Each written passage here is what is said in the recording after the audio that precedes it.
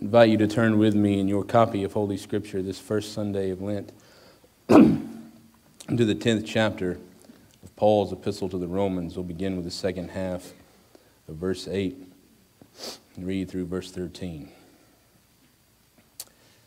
The word is near you, on your lips and in your heart. That is the word of faith that we proclaim. Because if you confess with your lips that Jesus is Lord and believe in your heart that God raised him from the dead, you will be saved. For one believes with the heart and so is justified, and one confesses with the mouth and so is saved.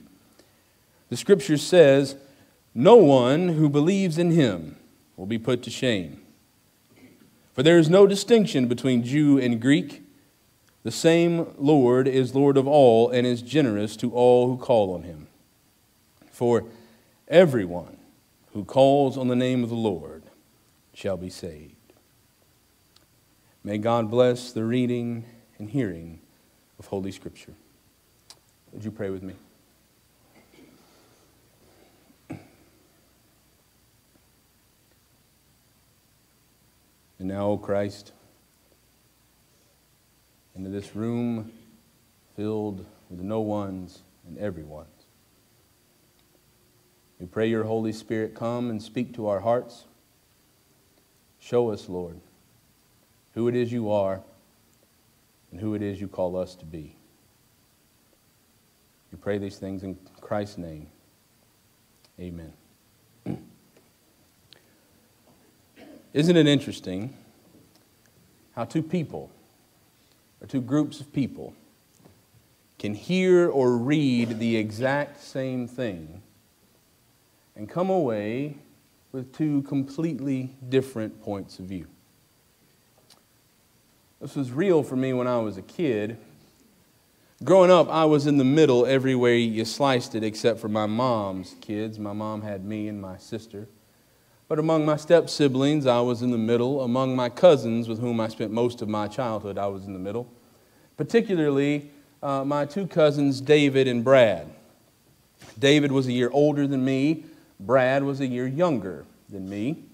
We grew up like brothers, especially on the weekends at grandma's house.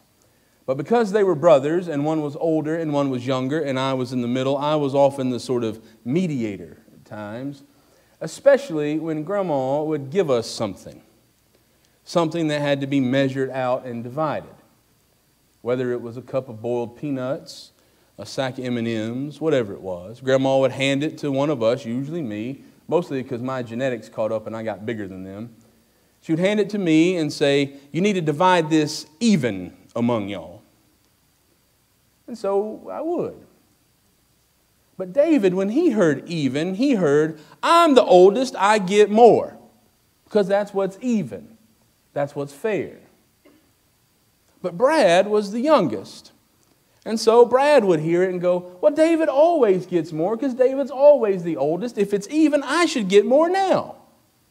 Right? That's even. They'd hear the same thing and come away with two totally different ideas about what it was most of the time, ideas that served who? Them. I think if you could boil down the, the great conflict that has existed in the root and heart of the church since the very beginning, it's that one word heard multiple ways and everyone taking their own interpretation back with them. I'd even go so far as to say that's what Paul deals with most of the time in his epistles particularly in this section of Romans, chapters 9 through 11. Now, Paul's letter to, to, to, the Romans is one that gets quoted a lot, but I don't, I, frankly, if I'm honest with you, I spend more time with Jesus, I think, than Paul. But, but Romans is Paul's sort of grand opus to the church at Rome. He wants to go on to Spain to fund a missionary journey. And so he writes this letter to a church that one might think is just full of Romans, just full of Gentiles, but no, there's a large population of Jewish converted Christians who are in that church there. And Paul's writing to them, and when he comes to this section, he has to clear up some of what's at the heart of their division, or what was boiling under the surface. Paul had preached the gospel, and the Jews heard it one way, and the Gentiles heard it another. When the Gentiles heard Paul say, It is by grace through faith that you are saved. They said, Well, good. That means no circumcision, praise God, is what they said. No, no dietary restrictions, no keeping of the law, just faith. Faith is what saves us. That's what gets us in the door. Thank you, Jesus. Thank you, Paul. But the Jews at Rome heard it differently. When the Jews heard Paul's gospel, they said, Yes, it's by grace through faith, but still the law is not null and void. And so when the Jewish Christians converted at Rome, they saw their Gentile counterparts and said, Stop waking up every morning intentionally living in sin and become Jews, become Christians. And the Gentile Christians at Rome woke up in the morning and saw their Jewish counterparts and said, Stop living a life of hypocrites and become like us. Free yourself. Eat a bacon cheeseburger every once in a while. Paul said, No, you've both missed the point. That it is not about drawing a line and saying, Now that you're on Jesus' side, you better get on my side. Paul says, No. That the gospel of Christ is for everyone, and no one is left out. The gospel of Jesus Christ, Paul says, leaves no one out. And it's easy. And the thing that I, I, am most thankful for in Paul's preaching of the gospel is the reality that Paul says the gospel of Jesus meets you right where you are. And I think while that is the most wonderful thing about it, it's also one of the hardest things for us to come to grasp because we are bamboozled and swindled so much by everything else. I fell for it once. I was in high school, a little dumber then. Maybe I'm more dumber now. But when I was in high school, I was the first kid in my, in my family to ever go to college. Uh, and, and, so, as everybody who's in, in that age, you start getting packages in the mail. I guess they still do this. They'd send you, you know, packages from, you know, the University of Washington in St. Louis, and it'd be this big package, a university you never heard of, right? Wanting you to come, wanting you to do all this that you get flyers in the mail about scholarship opportunities and this and that. Well, one day I got one in the mail and it said, Attend this meeting, this seminar, and all of your college will be paid for. Man, I mean, that's a gravy train with biscuit wheels. I'm getting on it. Let's go. I told my mom, and so we got my aunt who had a, a, Dodge Caravan. I guess whatever car we were driving at the time may not have made it all the way to, you know, Troy, Alabama. We drove up to Troy. We met this group in this room, and I remember there was a screen at the front, a little lectern, and there were chairs set up. My friend Chris Madsen, who to this day I think is one of the smartest people I've ever met, was in that room, so I knew I was in the right place. We had all the chairs lined up, and we sat down in them, and somebody started talking, started talking about credit hours and, and tuition words. I didn't really know what they meant at the time. Then they showed a little video, and, and it became clear what was happening. People had set up tables around the room. People were sitting at those tables with file folders. There were little markers on the front of the tables U through V, A through D. They knew who we were. When the video was over, they were going to call our name and we were going to come sit at this table. And then we were going to be presented with a package. And if we only paid them a small fee of something like $1,500, they would make sure we had all the money we needed to go to college. This was before I knew Jesus, so I said some things I shouldn't have said. But I fell for it. I'm sure you probably have similar things in your life. We're skeptical of it. So when we hear that the gospel meets us right where we are, I don't know. I don't know. That sounds too good to be true. That's why Paul says the word is near you. Another way to say it is at hand, right there with you, not outside the door. I know we say that, lo, he stands at the door and knocks, but I tend to think Jesus is the kind who just lets himself in. Paul says the word is near you on your lips and in your heart. That is, he says, the word of faith we proclaim. Because if you confess with your lips that Jesus is the Lord and believe in your heart that God raised him from the dead, you will be saved. And we tend to think that that's sort of like conscriptive, right? That that's the formula. that's the one plus one equals two, but that's not what Paul is saying. Paul's saying it's just that easy. It's just that near to you. You know, sometimes I'm afraid we try to stick too many strings on Jesus.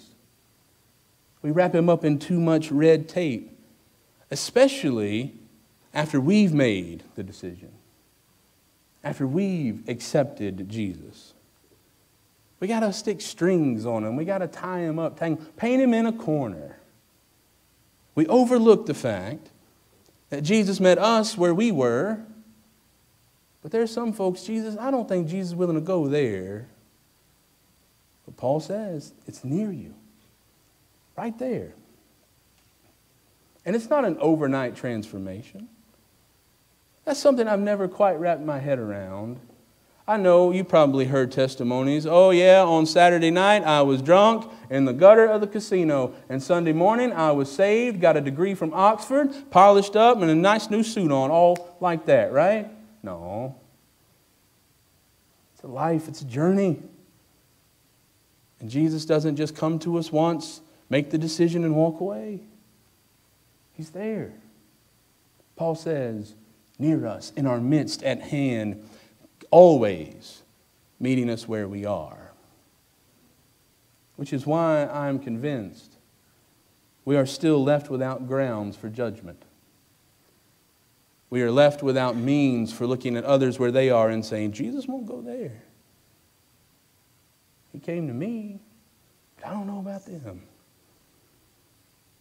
But there again, Paul says the gospel of Christ lifts up those who call on the name of Jesus, wherever they are. And friends, I'm afraid we're not, we're not real good at that anymore, if we ever have been. I was reminded of this not too long ago, maybe last week. A documentary started making the rounds again uh, among Baptist folk. It came out in 95. It was called Battle for the Minds. It's a documentary that PBS had put together about the fundamentalist takeover of the Southern Baptist Convention.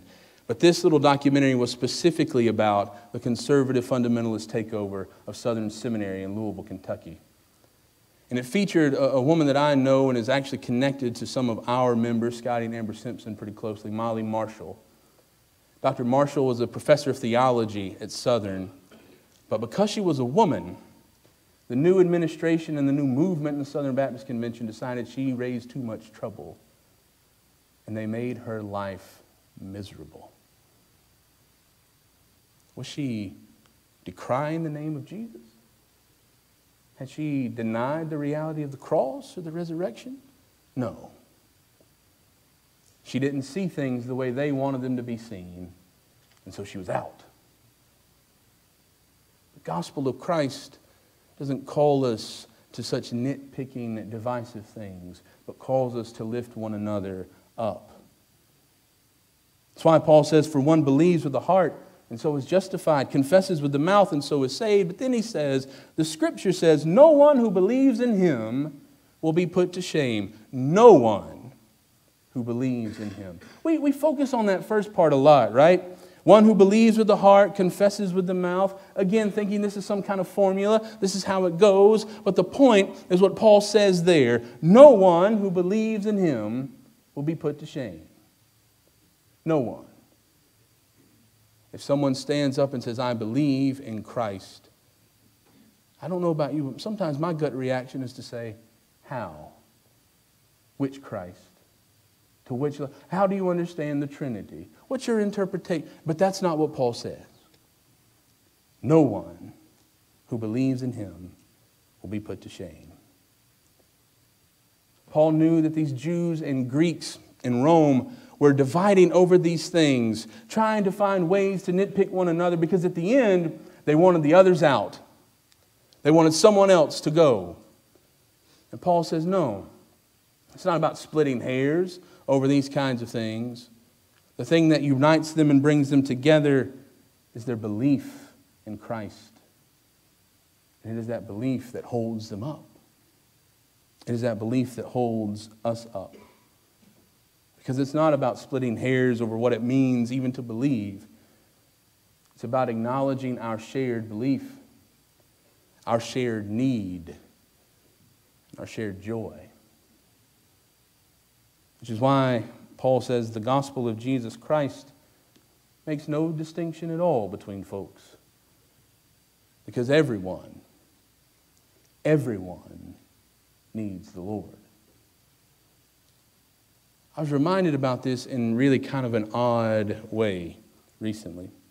I don't know how many of you listen to podcasts. I'm a late comer to that for people in my generation. But one that I've started listening to, in fact, I've listened to all of it already, It was one called The End of the World with Josh Clark. It's not about the rapture, by the way. Um, this podcast was done by a man named Josh Clark who speaks in a very monotone voice. He speaks like this, never really fluctuates his voice.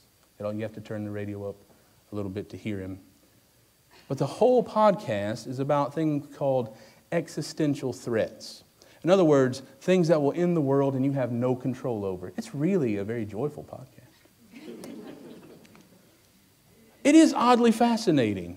A man with such a monotone voice telling us about the doom that's awaiting us, an asteroid that could just slip past Jupiter, find its way to our planet, pulled by the gravitational force, smack us, and we're all dead.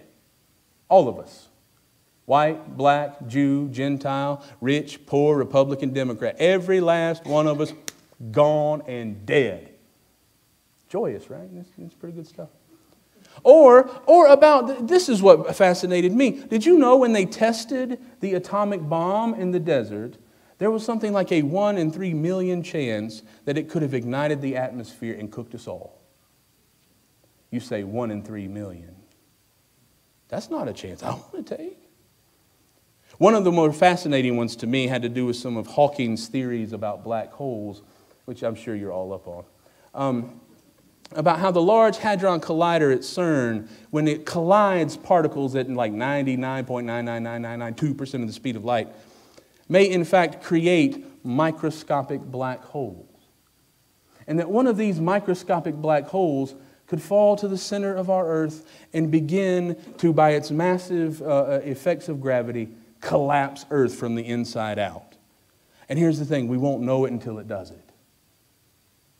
Man, I can sleep better at night, can't you? Here's the thing. Here's what, what, what, why I say this is a weird way for me to get to what Paul is saying. There is not a thing anybody would be able to do about those kinds of things. It made me think of, and I've shared this with you before, something called the overview effect about astronauts who, when they break out of Earth's atmosphere and turn to look back, they realize, oh, wait, it's so small.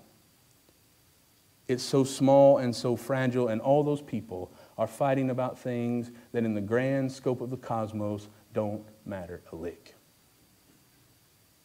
I like to think that's the point of view of God. Look at all those people, so fragile, so where they are, and it doesn't matter. It doesn't matter one bit. And I love them anyway. The gospel of Christ, Paul says, makes no distinction between folks. Here, these Jew, Gentile Christians, these Jewish Christians, wanting to know where's the line drawn? What do I, uh, what do I take a hold of? What's the right thing here? Should I uh, subscribe to dietary laws? Is it free? Should I be able to do whatever I want willy nilly? And Paul says if you're asking these questions, you're missing the point. For there is no distinction between Jew and Greek. Paul says the same Lord is Lord of all and is generous to all who call on him. For, he says, everyone who calls on the name of the Lord shall be saved. There's no, no application process. When Sally and I went through our adoption, it wasn't just about what are you now, it's, well, in five years from now, you know, what do you, like we can tell the future. But yeah, you got to lay it all out. Sometimes I think we, we, we treat our faith that way or at least when it comes to letting maybe others in. When you find it, are you going to flip? Are you going to turn? Are you going to become more and more like me? I'm not perfect, but I'm close, right? Paul says no. God makes no distinction. Everyone who calls on the name of the Lord, Everyone. There is no exclusion, I'm sorry, even in the Greek to that word. So, Paul wants to clarify that God has made no distinction between the Jews and the Greeks when it comes to salvation, meaning that it wasn't just about one coming around to the other's way of thinking eventually, that God sees over and above the walls we erect to divide us. And it's why Paul says, everyone, because he means everyone, regardless of where they are, who they are, or what they do. Christ is Lord of all, we sing. And sometimes I think we sing that almost like a military anthem Christ is Lord of all. That's not what it means, friends. What it means is Christ is Lord of all who will come. That Christ is there with arms wide open for all who will come. It's about a lot more than the power of Christ to rule. It's about the shared common identity we have in Jesus. The gospel of Jesus Christ, Paul says, the reality of God's love made real in the flesh and blood of Jesus is a reality for every person who comes seeking salvation. And for Paul, by the way, this isn't just about a ticket to heaven. Salvation is about being made whole, about being saved from the grief, from the pain, the sorrow, the overwhelming agony and exclusion of this life, from the weight of carrying around one's self upon one's shoulders. And isn't that good news? That the gospel of Jesus is for everyone. Isn't that good news that the gospel of Jesus are for the Jews? Isn't it good news that the gospel of Jesus is for the Gentile? Isn't it good news that the gospel of Jesus is for anyone, everyone, anywhere, anytime? It's for everyone. It's even for you and for me. Thanks be to God. Let's pray.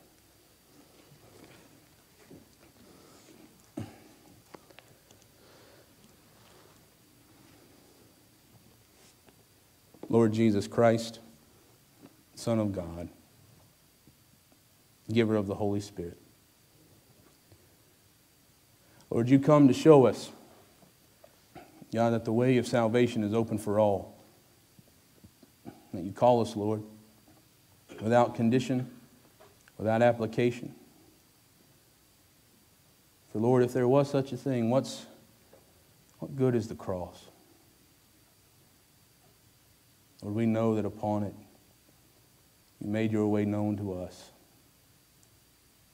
The way of self emptying love, even from the God of the cosmos, to be nailed to a tree to die. Help us, Lord, to understand, to better understand with each day, with each breath we take, Lord, that you are God, you are the Lord of all, and that means all. All who come, all who come seeking, all who call on your name. And help us, Lord, this morning to call on your name even now. Move among us, Holy Spirit, we pray in Christ's name. Amen.